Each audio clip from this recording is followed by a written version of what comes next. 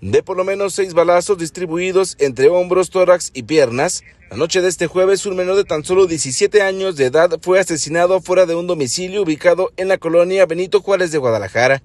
Al filo de las 10 de la noche, vecinos reportaron sobre una agresión a tiros en contra de un adolescente sobre las calles Guinea y Lempira, lo que movilizó de inmediato a policías de Guadalajara.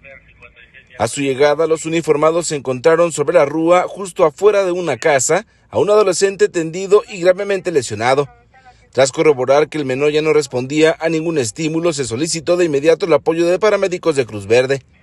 Pese a los intentos por reanimar a la víctima, el joven murió en el lugar producto de múltiples heridas distribuidas en diferentes partes del cuerpo. Sobre la escena se localizaron varios casquillos percutidos de arma corta, sin que hasta el corte informativo hubiera datos precisos sobre los criminales.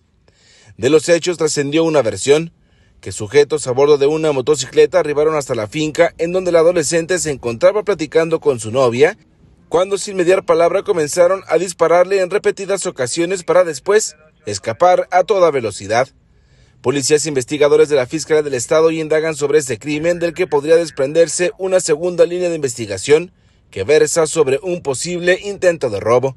Serán las pesquisas las que puedan esclarecer este asesinato, del que algunas cámaras de vigilancia pudieron haber captado el momento preciso en que los asesinos arremetieron contra su víctima delante de su pareja sentimental. Reportó para Guardia Nocturna Aaron Maciel.